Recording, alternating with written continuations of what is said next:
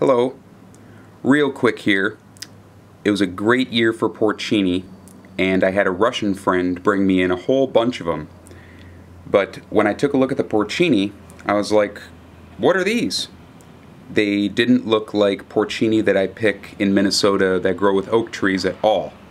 So she had been picking her porcini with red pine, and the pine porcini here have a red flush to the stem, the cap's a little more kind of burnt orange bronze uh, compared to the brown cap that uh, I typically see around oak porcini here.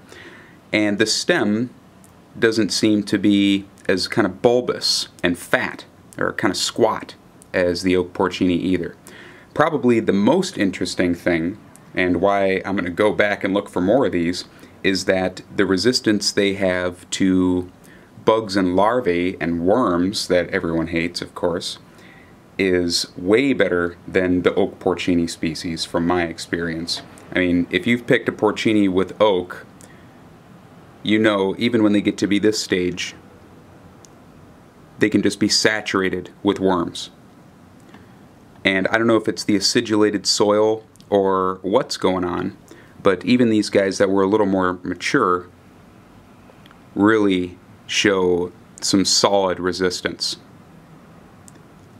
Another one of my friends, who's really active in the Mycological Society, said that the holes here, where usually, you know, you're going to think, oh, that's a bunch of worms, he said that with these, the pine porcini, the holes don't necessarily mean that they're wormy.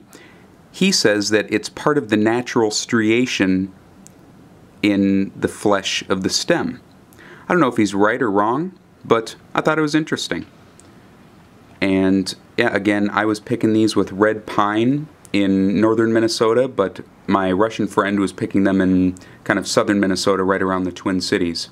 So there you go. I suspect these are probably related to Boletus pinophilus.